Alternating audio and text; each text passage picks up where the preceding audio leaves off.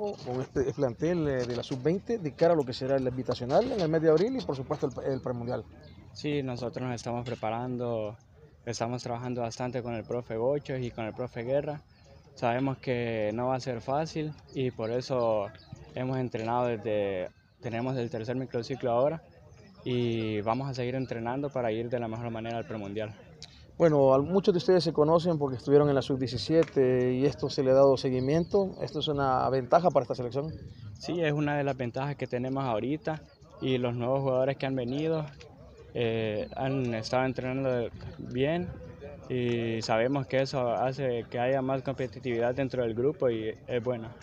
A luchar por quedarse en un puesto en el invitacional y por ende también en el premundial.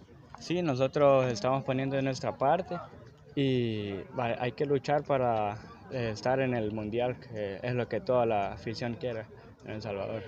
Ahí estamos.